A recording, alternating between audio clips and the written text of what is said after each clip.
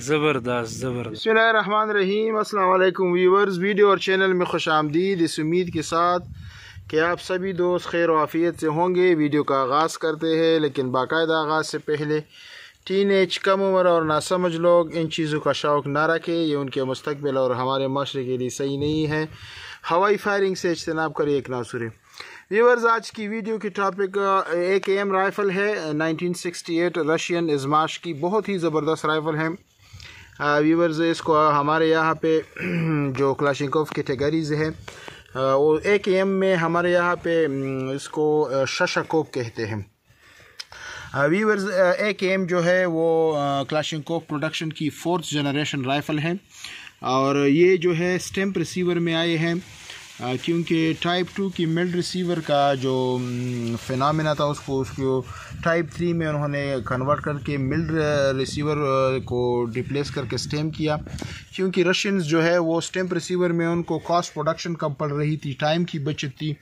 और mild receiving जो थी, वो ज़्यादा पैमाने पे राइफ़ल की प्रोडक्शन में जो है मुश्किल थी या उस पर लागत और ख़र्चा भी ज़्यादा आ रहा था और लेबर का मसला भी था। तो इसलिए उन्होंने एक एम में वापस स्टैम्प रिसीवर की। मैं यहाँ पे आज क्लियर कर दूँ कि यहाँ हमारे यहाँ लोकल जो हमारा एरिया है, ज़्यादातर लोगों का ये ख्याल है कि जितने डबल तांबा या क्लाशनकोप है, वो स्टैम्प रिसीवर है। ये गलत है मेरे भाई राइफ़ल टाइप वन जो थी, वो स्टैम्प रिसीवर थी टाइप टू मेल्ड रिसीवर थी। और फिर टाइप थ्री और एक एम में वापस रशियन ने इसको स्टैम्प रिसीवर में चेंज कर दिया। जब भी आप राइफ़ल वगैरह उठाए तो आपने इसका एज़ यूजल सेफ्टी को बहुत ज़्यादा नज़र में रखना है। हमने इसकी मैगज़ीन रिलीज़ की और इसके बाद इसकी जो चैम्बर है उसको चेक करना है। ये देखिए, अगर कैमरा फोकस कर सके चैम्बर इसका खाली है। एंड नाउ हम इसको छेड़ सकते हैं। वीवर्स के एम जो है, ये लाइट वेट असल्ट राइफ़ल है. कलाशिंकोव जैसे आपको पता है, पूरी दुनिया में सबसे ज़्यादा इस्तेमाल होने वाली राइफ़ल है. इसमें जो दूसरी जो फ़र्स्ट थ्री प्रोडक्शन स्टेप थे, उसमें फ़र्क जो मैं आपको बता दूँ, ये है कि इसकी जो ये टॉप कवर है, ये सेगमेंटेड होती है, ये आप देख लें। जबकि टाइप वन टू थ्री की जो है वो बिल्कुल फ्लैट हमवार टॉप होती है। इसका वज़न कम होता है। इसकी जो गैस ट्यूब है, वो तकरीबन दूसरी जो फ़र्स्ट सेकंड टाइप में उसमें मसला है और ये इसको शशाकोप कहते हैं। ये यहाँ का जो टॉप है ये स्क्वायर है। जब ये गोल होगा तो उसको कलाशंकोप कहते हैं एक एम में हमारे यहाँ पे।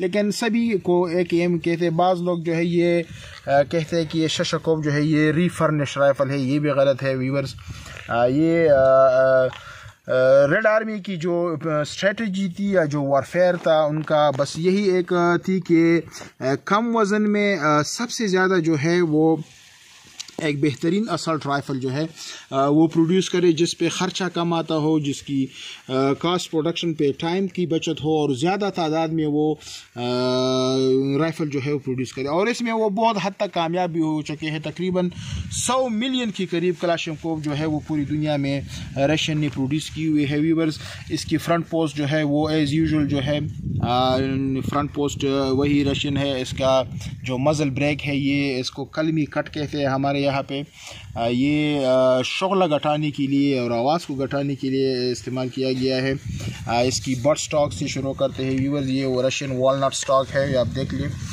ये जो, यहाँ पे इसको ग्रूप स्लॉट बनाया गया है कि पूरा जो राइफ़ल का बट है वो इसमें एक स्क्रू के साथ टाइट करते हैं।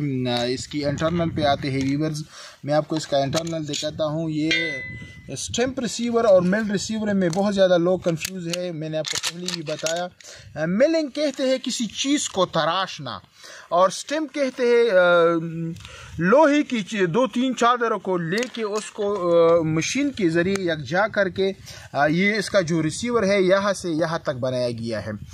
तो ये असल में इसको वापस स्टेम्प रिसीवर में इसलिए लाया गया कि इस पर ख़र्चा कम आता है और बड़े पैमाने पर मिलिंग जो है या लोहे की पूरी ब्लॉक को तराशना और उसको उसमें पुर्जे लगाना जो था ज़्यादा मुश्किल काम था रशियंस के लिए ज़्यादा लागत उस पर आ रही थी ज़्यादा खर्च आ रहा था।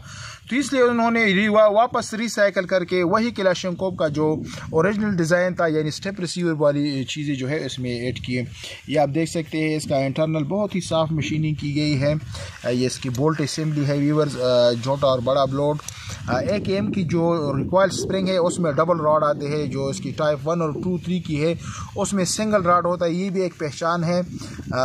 जब भी आप राइफ़ल ख़रीदें, बल्कि ऐसा है कि मैं इंशाल्लाह इस पर एक वीडियो बनाऊँगा कि आपने किस तरह असली और नकली पे या क्या क्या चीज़ें देखनी है कि जब आप ओरिजिनल ए के एम असॉल्ट राइफ़ल ख़रीदें या दूसरा क्लाशनकोव जो है। वीवर्स इसकी बाकी तमाम ही स्पेसिफिकेशन दूसरे क्लाशनकोव की है, इसकी बैरल लेंथ जो है सोलह इंच है, वही साढ़े उनतालीस, चालीस इंच इसकी ओवरऑल लेंथ है।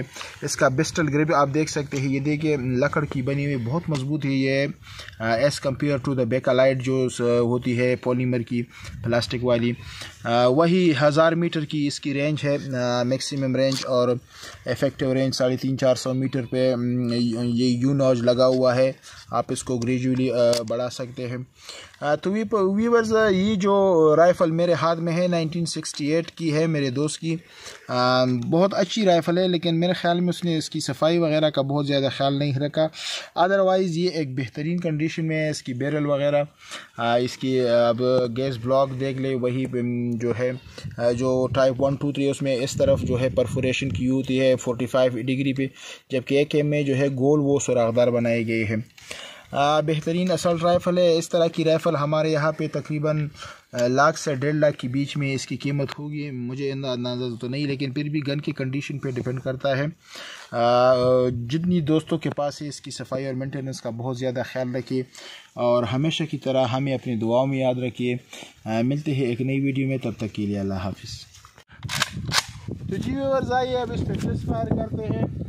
और इसकी साउंड क्वालिटी वगैरह एक्यूरेसी आपको दिखाते हैं। सामने आपको बहुत छोटी पत्थर नज़र आ रही है, वो पहाड़ी के ऊपर। तकरीबन अगर कैमरा फोकस करके आपको दिखा सकते हैं।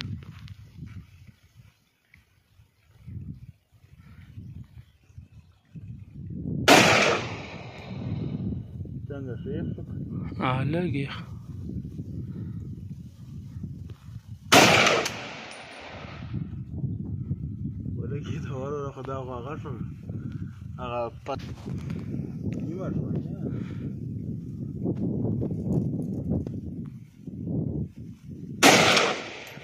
ज़बरदस्त ज़बरदस्त बहुत ही ज़बरदस्त हिट हुआ आपने देखा एक एम रशियन एजमाश का बहुत ही बेहतरीन असॉल्ट राइफल थी वीवर्स इसकी वज़न घटाई गई थी अदरवाइज़ इसकी तमाम ही टेक्नोलॉजी जो दूसरी टाइप वन टू थ्री है उससे बेहतर है इसकी कुरिसी इसकी साउंड क्वालिटी भी, उससे बेहतरीन है व्यूवर्स आप जब भी हथियार हाथ में लें तो सेफ़ जगह पर फायर करें, अपना, अपने गिरद पेड़ सभी दोस्तों का बहुत ज़्यादा ख्याल रखें. उम्मीद है कि वीडियो आपको पसंद आई होगी. आप पसंद आने की सूरत में लाइक करें शेयर करें और हमें अपनी दुआओं में याद रखें. बाय मैं मेरे दोस्त, अख्तर अकबर भाई के. मिलते हैं एक नई वीडियो में, तब तक के लिए अल्लाह हाफिज़.